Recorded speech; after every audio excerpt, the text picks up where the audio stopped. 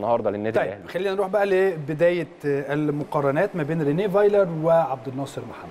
كابتن طبعاً. عبد الناصر محمد طبعا المدير الفني لنادي عامل معاهم شغل محترم وفرقة هي فرقة بتعمل كل حاجة في الكورة إلا حاجة واحدة بس هي التهديف. لو عندهم راس حربة أو اشتروا راس حربة في شهر يناير آه. أعتقد إن هو هيفرق معاهم جامد جدا. بيوصلوا للجون كتير جدا ولكن عندهم مشكلة عمق هجومي واضحة اللي هي نبص على الأرقام هتأكدها الأرقام. يمكن هو عنده 49 سنة لعب معاهم 11 مباراة كسب 2 اتعادل 5 خسر 4 أربعة ده رقم قليل بالنسبة للفريق لسه صاعد.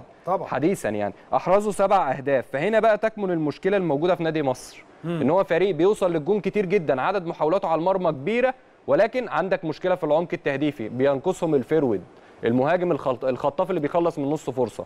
وده الفرق ما بينه وما بين النادي الأهلي. يعني النادي الأهلي طبعا تسعة فوز من تسع مباريات. جايب كام جون النادي الأهلي؟ 25 هدف. معدل الأهداف 2.7 للنادي الأهلي مقابل 6 من 10 فقط لنادي مصر. بالنسبة للدفاعات اللي النادي الأهلي دخل شباكه هدف واحد بس أيوه.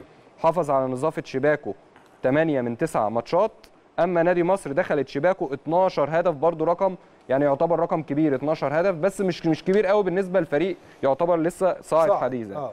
حافظ على نظافة شباكه أربع مباريات من 11 رقم كويس جدا برضو بالنسبة لنادي مصر مقابل طبعا 8 للنادي الأهلي. هنا أنت لما بتقارن. عمل واحدة من المفاجآت بتعادله مع نادي الزمالك آه. مفاجأة برضو إن هو طبعاً. يتعادل مع نادي الزمالك. ما هو ده ده اللي حصل قدام نادي الزمالك إيه؟ إن آه. هم لعبوا بطريقة ال man to man. طريقة ال man to man اللي أنت كل بت... أرجاء في كل الملعب. أرجاء الملعب بت... بت... بتقابل بتلعب. زمان كان يقول لك إيه؟ لو اللعيب داخل التواليت خش وراه. آه هو كده. يعني ما تسيبوش.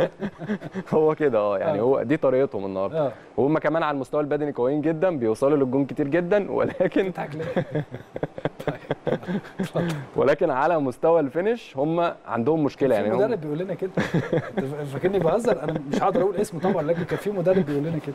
اتفضل. ولكن على مستوى ال finish هم عندهم مشكلة في العمق الهجومي آه. بس هي دي مش الفكرة الأهلي على فكرة عشان آه. بس